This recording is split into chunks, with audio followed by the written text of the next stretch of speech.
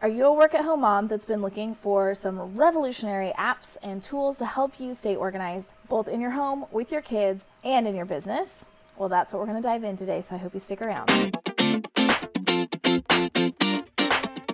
Hey there, amazing work at home moms. Thank you for joining us here at the Mom Desk Club. My name is Laurel, and you are here at my desk. We're going to just have a quick little coffee break as we get ready to dive into all things work at home mom related. And I'm really excited to jump into this topic with you today. This season, we have been discussing all things working at home with toddlers, which is quite the circus, let me tell you. And I have got plenty of experience with plenty of toddlers. So I am right here in the trench- trenches with you. I am not just looking back on this as some, you know, 20 year 20 years ago I used to do this. No, no, I'm right here with you doing it on the daily.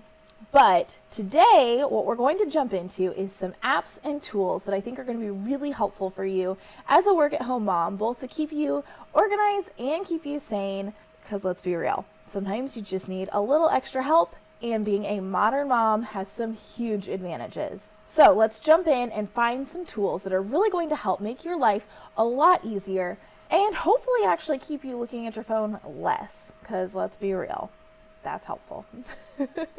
First, I want to start off with just keeping things really simple. I think sometimes we make things so overcomplicated when we're thinking about apps to keep our life organized, when a lot of times some of the most basic apps work amazingly. So, one of the things I utilize a lot is my calendar app. I'm sure you do as well. There are so many amazing strategies for keeping your calendar app organized, whether you're using colors or you know a different color for different types of activities, important, non-important, different family members. There's so many different ways to organize your calendar, but just using the basic calendar on your phone can be so simple when keeping things organized with appointments and deadlines and all that kind of stuff. You can get fancy, you can use really fancy apps but sometimes just using the basic calendar app on your phone can be so streamlined. Another app that I feel like goes really unrecognized in these types of videos is the Notes app.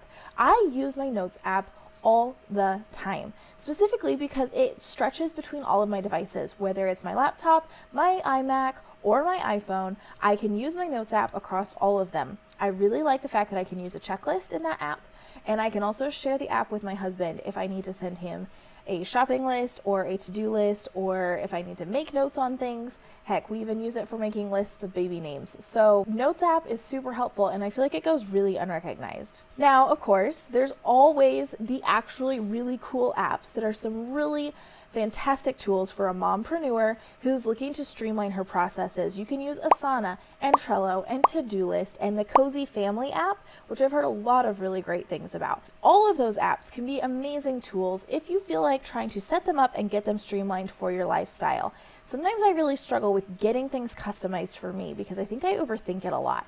But if you are really tech savvy or you enjoy using apps to keep yourself organized, these are some really great ones that you can check out to help keep your life a little bit more organized, whether it's on the personal side, the business side, your family side, whichever, even for home. You could keep your chore list and your task lists, even if they are more more repetitive as a way to keep reminding yourself what's coming up. All right, so now I want to jump into a few apps for kids that I think are super helpful. Before I jump into that though, I do want to make a minor clarification that I don't really like using apps with my children. Now, I realize that that might be completely controversial and every family is going to handle this differently. I am a total failure of a millennial mom when it comes to utilizing technology because I just don't like it. I would much rather my children have some really solid toys to play with and try to entertain them that way than to try to keep them busy with apps and technology and devices and tools. It's just not my thing.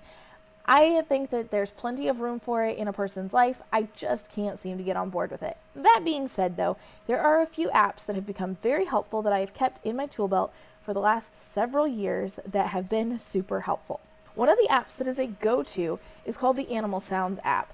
I really like the way that you can lock your phone up. That's the first thing. Google how to do this based on your own device. You really need to be able to lock your device so that they can't be wandering around and responding to emails and texts and deleting photos. Oh my word, this is such a headache when kids start doing this. So figure out a way to lock your phone. I know on my iPhone, I have it set up to where you triple click the home button um, the side button, and it will allow you to draw boxes around areas that you're going to lock up. So I utilize that a lot when I'm trying to keep my child just in that one app. The Animal Sounds app is super fun. The only thing that would make it better is if it told you the name of the animal with the sound. That way, your kid is actually learning two things at once. But either way, my kids know a lot of animal sounds and a lot of animals, and that makes it a lot of fun. It works for all the kids because it's such a simple app once you block off the ads that even the baby can operate it. So sometimes if he's just really having a hard time in the car or something like that, you can use it as a distraction. We've also used it as a distraction to keep kids awake in the car as well because let's be real.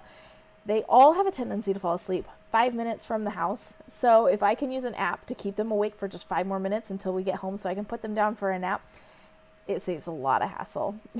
some other apps that I really enjoy are the Moshi app. It tells some really fun little stories.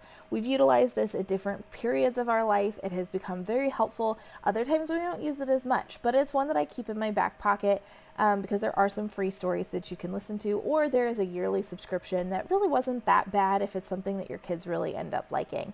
There's a bird song app that is really cool where kids can learn about bird sounds and um, that is really fun as a way to kind of encourage learning in your children without just handing them an educational app. And then a couple other apps that we've utilized are the white noise app. Now, this is completely bizarre, but we utilize this for nap time. So sometimes it can be really helpful to have just some background white noise um, if your kids are trying to fall asleep and you're not in your regular environment. More so than not, we use it if our power goes out because we do have sound machines but sometimes the power goes out and you need a backup. So that's where we generally use it, but we have used it in the car. We've used it when we have to go over and stay with somebody for an afternoon or for the evening. Um, so that is an app that is very helpful and maybe you hadn't thought about it, but it would be really helpful for you. And then there's also some different coloring page apps, which I feel like for me is a little out there, but it is one that I keep as a backup in case kids are just really starting to have a hard time. It's fun to color on your phone. I used to do that as a kid with paint back, you know, when the dinosaurs roamed the earth of technology. But either way, it can be a lot of fun to have a couple coloring apps. Sometimes you just need to have a couple tools installed on your phone for moments when things start to get really crazy. Maybe you've got a deadline that's coming up and you just need five more minutes. Sometimes that can help. Now, what I do have to be careful with is that there are some really great educational apps, but my kids get super addicted to them. So even if I set a timer for 10 minutes and I tell them, hey, you can play this really fun reading app for 10 minutes, and then when the timer goes off, you're done, they still end up throwing a huge hissy fit when I take it away from them.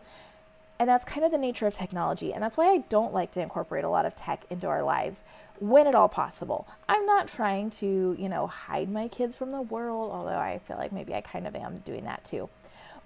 And I do want them to become very capable adults where they learn how to use, technology. But right now in this season, it can be really hard, especially when they're toddlers, to incorporate tech into their life and then see the ramifications of that on their attention spans and their ability to have creative play and also to see the way they throw super temper tantrums when you take it away from them.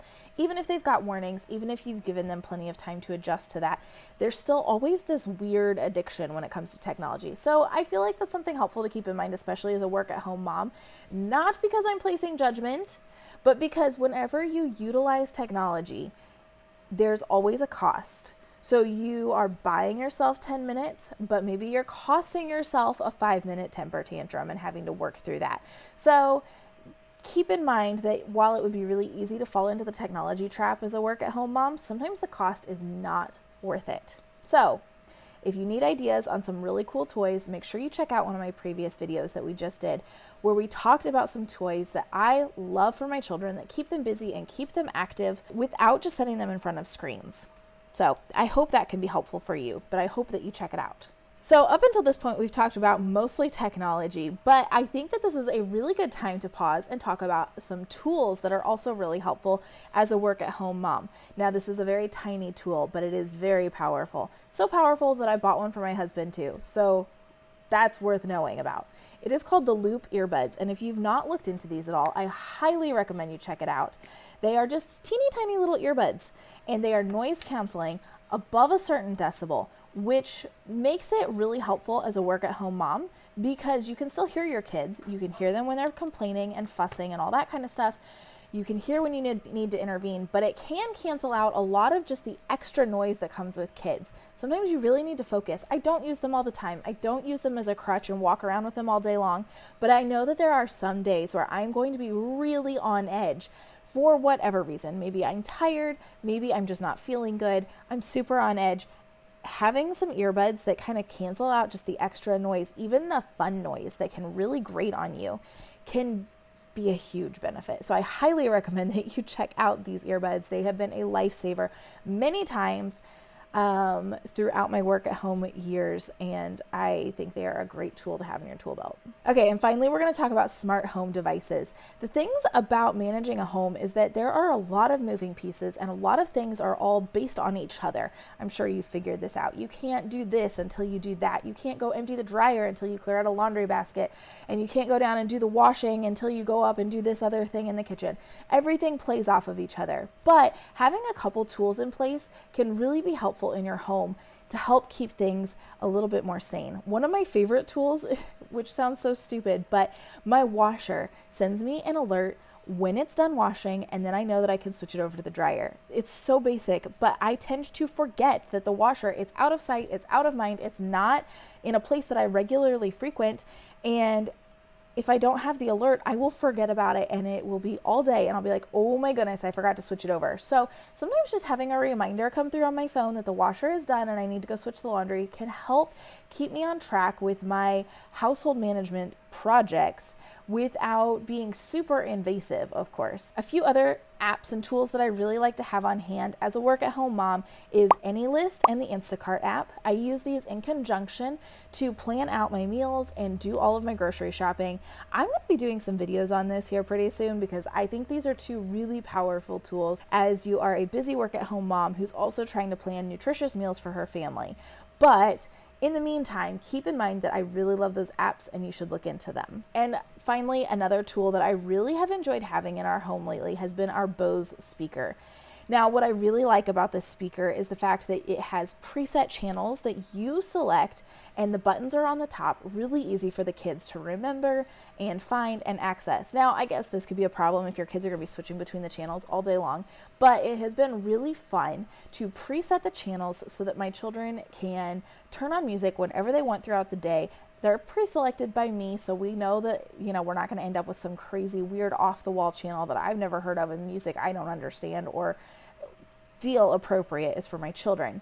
But with those preset channels, they can go through and select, okay, well, today now we want to listen to the Disney Channel, or now I'm feeling like I want to listen to Veggie Tales, or ironically, one of their favorite channels is the Celtic Sea Shanties channel, which we'll just leave it there. That one's really funny to listen to your kids sing because some of those songs are just insanely hilarious. But it's one of their favorite channels and they have a lot of fun with it.